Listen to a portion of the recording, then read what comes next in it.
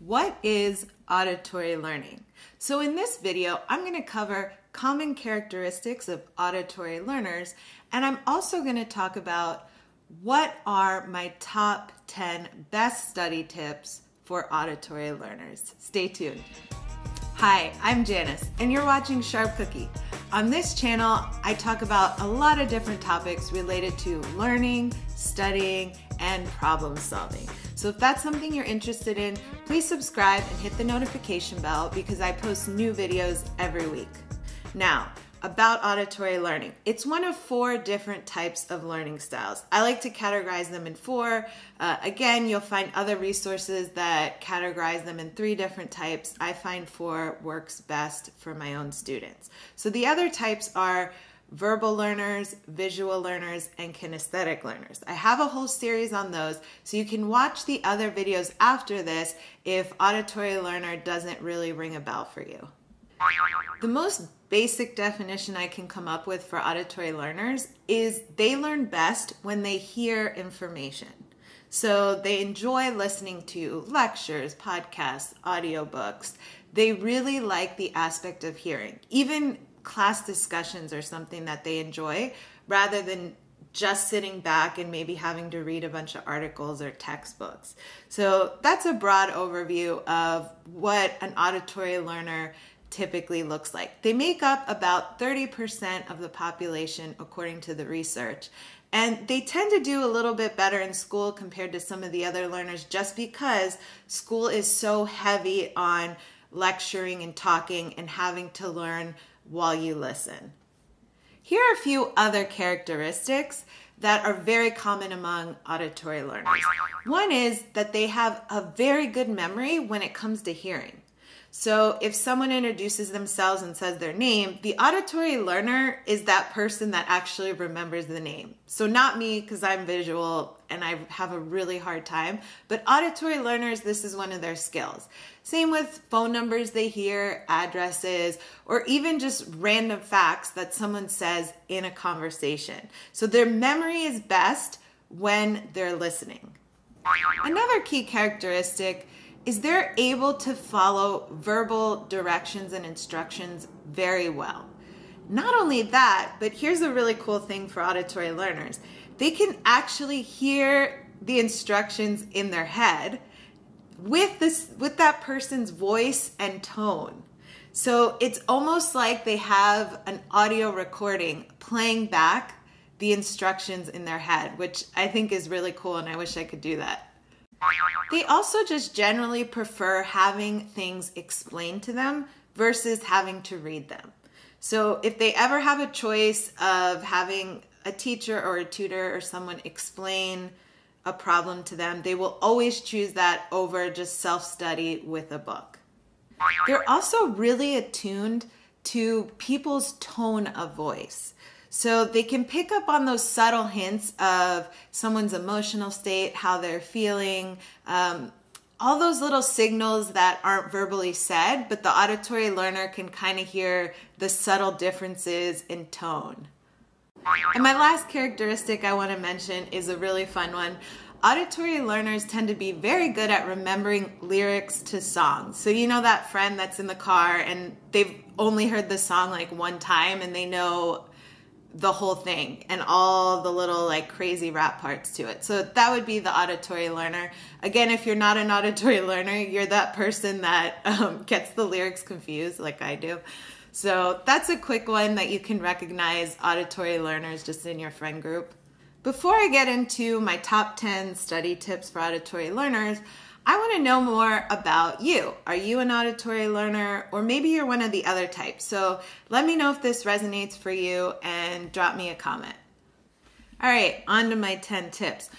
I'm going to start with like the one I think is best, okay? The one I think is going to make the biggest difference. My number one tip for audio learners is record everything. So, as much as you can, as much as you're allowed to, record it. So, if you're in a class, ask the teacher if you can maybe record on your cell phone. If you're distance learning, it's even easier. You can just record on your cell phone. You can use QuickTime to screen record. Uh, record everything you possibly can because it's really important for auditory learners to be able to play that back and listen to it later. Now, a little sub tip under that main tip is record yourself.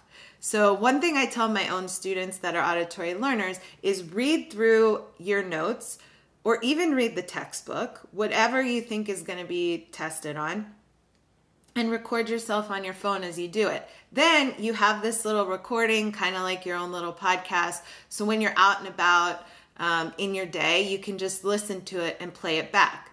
And you can mix that with spaced repetition, which means take long breaks, repeat it again, listen to it again, wait till the next day, listen to it again, wait till before you go to sleep, listen to it again. So that's my number one tip. Record everything you can said by your teacher or tutor, and also do your own recordings.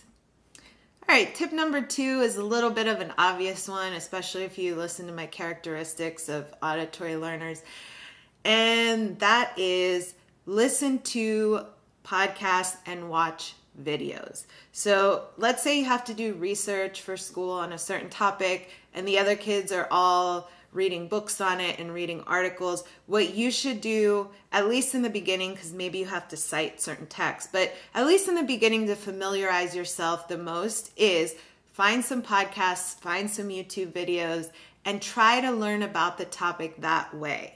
So, just like what you're doing now, okay? So, you're watching a video on YouTube about auditory learners, and you're much more likely to remember all of these characteristics and tips because you're hearing me talk about it versus reading about it in an online article. Tip number three repeat facts out loud with your eyes closed. So, the reason why this works is when we close our eyes, we block out other sensory information, especially our visual sense, which can be really distracting. And then you can really focus on what you're hearing and the sound of your voice. So as you repeat the fact, really try to use the same exact words over and over again. So, whatever subject you're doing, this could be vocabulary for a foreign language, this could be memorizing biology terms, whatever it is, close your eyes and just repeat it to yourself over and over again. All right, tip number four is if you're struggling, hire or get a tutor at your school. Now, I'm not just saying this because I am a tutor. of course, I think it's valuable, but auditory learners, I found out of most of the other types, tend to do the best with tutors, and that's because tutors talk and auditory learners like to hear things explained to them. So it makes a lot of sense that if you're struggling, you should look into getting a tutor. Tip number five is get a study buddy. So, auditory learners learn better when they're talking things out and hearing things. So, that works better when there's somebody else involved versus they're just doing independent learning at home. Now, if you can't meet in person, you can do this on the phone with someone because you can still hear what they're saying. You can do it on video chat or Zoom. Sometimes even just having somebody to bounce ideas off of works really well. Now, again, this is specific for auditory learners. There's other learning styles that I actually recommend more independent learning versus group learning or study buddy learning. But for auditory learners, I definitely recommend getting a study buddy. Tip number six is to experiment with background music while you're learning. Auditory learners are kind of funny. They actually don't like to study in complete silence. Yet, on the other hand, noises really distract them. So, what music does, it sort of creates this environment where there is some noise and it can drown out background noise and conversations, uh, and it's still not absolute silence. So, I find that for auditory learners, music works really well. Now, not everybody can study well with music with lyrics, for example. So you can find some nice ambient music, classical music. Um, you can even experiment with different YouTube videos. I've seen, you know, ocean waves or rainforest or just rain falling. So all of these things are really cool things to kind of try out and see what you like. I know some of my students, they actually have different playlists for different types of studying they're doing. So sometimes the waves crashing works for a certain type, and then other times they want to listen to techno. So have different playlists set up and test out what works best with you depending on what kind of studying you're doing. Because sometimes it's just like you're making flashcards and that's one type of studying. Other times you're learning something really hard and new and it takes a lot more focus. So try it out. But I found that using some background music really, really helps. Tip number seven is to read out loud. I have a student, she's in grad school right now, and she has told me she can't really make edits to her paper or even really understand what she's doing unless she reads it out loud. So during our session, she reads it out loud to me. Now, I'm a visual learner, so I kind of tune her out and just read the text. But for her, it's so important for understanding that she read it out loud. Okay, now what if you're in an environment where maybe you're in a library or somewhere else where you can't just sit there talking to yourself out loud? What also really works is just mouthing the words quietly or not at all, just mouthing them. Um, if you can whisper them, whisper them. All of these things really, really help. So, this tip, try it out. Read out loud as much as you can. Tip number eight ask for verbal directions. and also just ask questions in general because you really do well when you get clarification verbally, okay, if you're an auditory learner. So if the teacher just wrote the instructions on the board or the instructions are just in front of you on a worksheet or a test and you're not quite sure, definitely don't be shy about asking the teacher for extra clarification or to explain the directions to you in more detail verbally because then you're going to understand it on a whole nother level. So, again, don't be shy about this. Ask those questions that you're thinking about and ask directions to be explained to you verbally.